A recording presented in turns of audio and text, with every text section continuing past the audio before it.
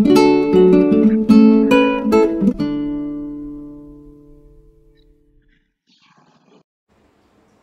Friends मी Madhavi. Fish and फ्लेवरमध्ये तुमचं स्वागत करते. आज आपण पाहणार आहोत महाराष्ट्राची स्पेशल झणझणीत तरीवाली मिसळ. तर सोबत आपण मिसळ शॉर्टी पाहणार आहोत. तसेच याआधी ज्यांनी आम्हाला लाईक शेअर सबस्क्राईब कॉमेंट्स केले त्यांचे मनापासून आभार. तसेच जे नव्याने आमच्या चॅनलवर आले आणि ज्यांना आमची रेसिपी आवडेल त्यांनी आम्हाला लाईक आणि सबस्क्राईब करायला विसरू नका. चला तर मग रेसिपीला सुरुवात करूया.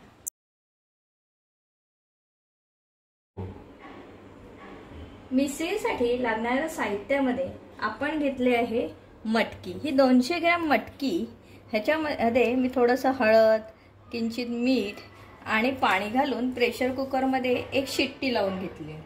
तसं जे ओव्हर कुक पण व्हायला नाही पाहिजे ह्याची काळजी घ्यायला पाहिजे आपण. तसंच त्याच्यानंतर कटासाठी आपण घेतलेले आहेत दोन मोठे कांदे. टमॅटो एक मोठा अर्धा कप सुकं किसलेलं खोबरं नंतर दालचिनी बडीशेप आलं लसूण चार लवंगा दोन मिरी आणि सुक्या मसाल्यांमध्ये आपण घेणार आहोत लाल तिखट हळद गरम मसाला. आता गरम मसाल्यामध्ये तुम्ही मिसळ मसाला पण घेऊ शकता कांदा लसूण मसाला किंवा गोडा मसाला पण घेऊ शकता. आम्ही गरम मसाला घेतला आहे तसंच मीठ किंचित गूळ चवीप्रमाणे हळद. फोडणीसाठी आपण घेणार आहे राई जिरं लसूण कोथिं कोथिंबीर कढीपत्ता हिंग आणि तेल. आणि सजावटीसाठी किंवा मिसळवर घालण्यासाठी आपण घेणार आहोत ही ब दोन बटाट्याची मी साधी पिवळी भाजी केलेली आहे. तसंच फरसाण पाव आणि पाणी.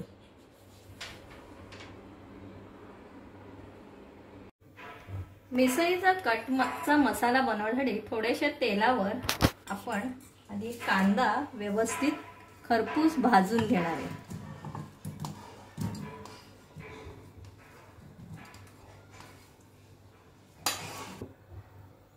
हा कांदा आता खरपूस आधी भाजून घ्यायचा आहे.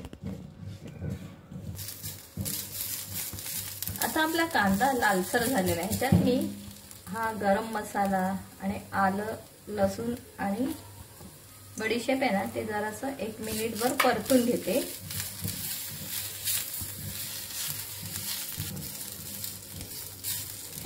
आता ह्याच्यामध्ये आपण सुकं खोबरं घालून ते व्यवस्थित भाजून घेऊया.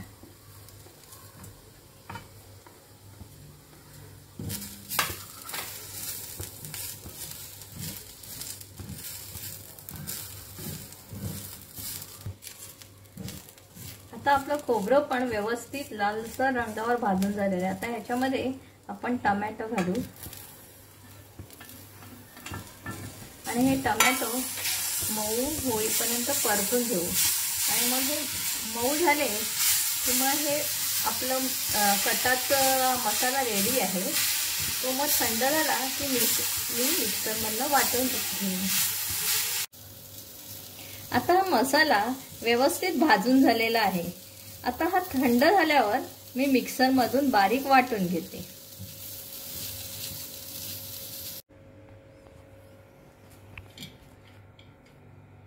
आता आपण मिसळीचा कट बनवण्यासाठी फोडणी करायला घेऊ. आता हा मिसळीचा कट आहे त्याच्यामुळे तो झणझणीत आणि चम चमचमीतच असायला हवा. त्याच्यामुळे तेलाचं आपण प्रमाण त्याच्यात जास्त घेतो तीन चमचे भरून मी तेल घेतलेलं आहे. आता हे तेल गरम झालं की त्याच्यामध्ये मी राई जिरं घालणार आहे. आणि राई जिरं तडतडलं की मग लसूण आणि कोथिंबीर आणि कढीपत्ता आपण त्याच्यामध्ये घालून घेऊ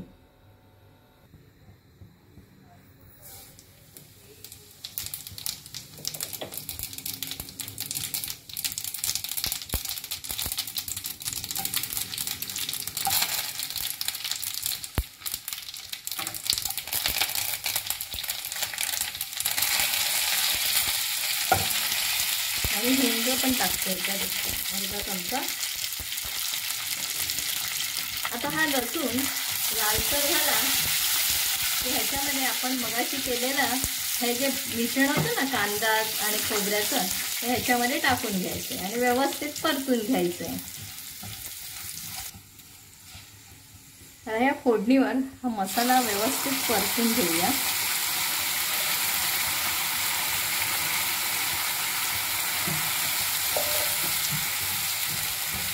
आता हा मसाला ह्या तेलावर व्यवस्थित परतून घ्यायचा आहे. आणि त्याला तेल सुटायला लागलं बाजूने की मग आपले गरम मसाले आपण घालून घेणार आहोत.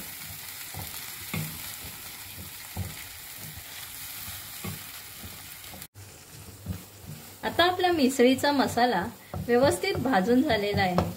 त्याला तेल पण सुटायला लागले आणि त्याचा हळूहळू त्याचा सुवास संपूर्ण घरभर पसरला आहे.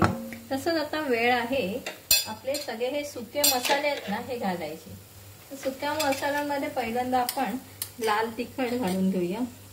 मिसळ आहे त्यामुळे दोन चमचे लाल तिखट. अर्धा चमचा हळद. आणि दोन चमचे भरून गरम मसाला. तर हे व्यवस्थित मसाले मी ह्याच्यामध्ये ढवळून घेते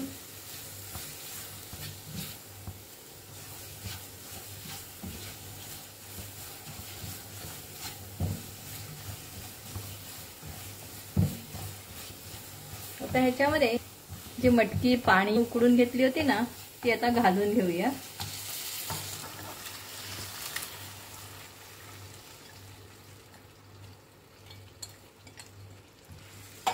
ती पण व्यवस्थित परतून घेऊया मसाल्यामध्ये.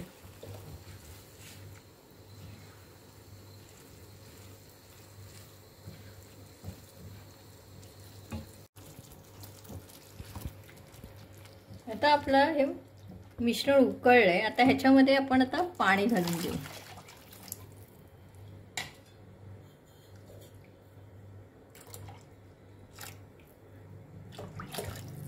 आता हे पाणी घालून झाल्यावर हे मिश्रण पाच ते सात मिनटं सगळे फ्लेवर्स त्याचे उतरून सगळा मिश मिसळीचा वास आणि सगळं गंध येण्यासाठी पाच ते सात मिनिटे उकळायला लागणार आहे.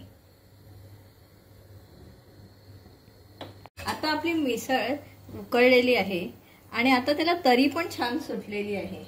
तसंच आता हे मी बंद करते आणि दोन मिनटं ती झाकून ते सेट व्हायला ठेवते. तोपर्यंत आपण प्लेटिंगची तयारी करायला घेऊया.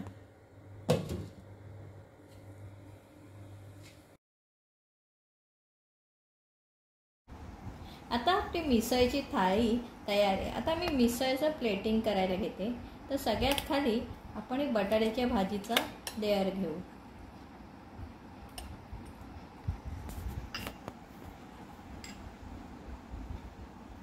त्याच्यानंतर मटकीचं लेअर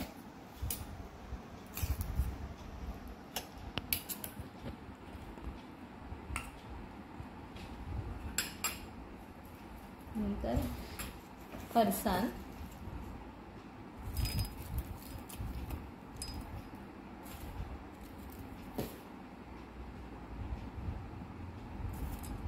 कांदा. टोमॅटो. आणि भरपूर सारी कोथिंबीर.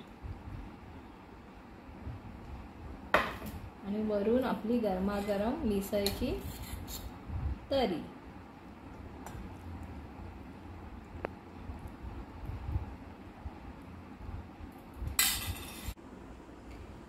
आता आपली गरमागरम मिसळ थाळी तयार आहे. तुम्ही नक्की करून पहा तुम्हाला आवडेल. तसंच आता हेच आपण सगळे पदार्थ घेऊन आपण एक नवीन पदार्थ बनवणार तो म्हणजे मिसळ शॉर्ट चला तर पाहूया मिसळ शॉर्ट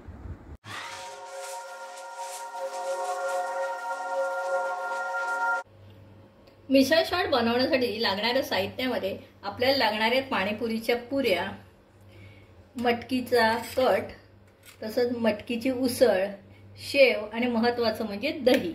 तर आता मी मिसळ शॉट बनवायला घेते. पहिलं उसळ मग शेव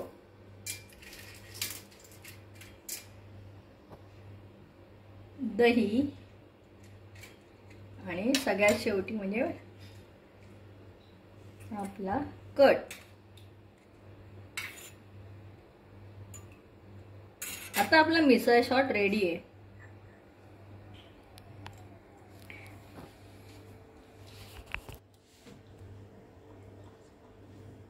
तुम्हाला आमचा मिसळ शॉट कसा वाटला? तशीच आमची मिसळची रेसिपी कशी वाटली? ते आम्हाला जरूर कळवा आणि आम्हाला लाईक आणि सबस्क्राईब करायला विसरू नका. चला तर भेटू लवकरच नवीन रेसिपी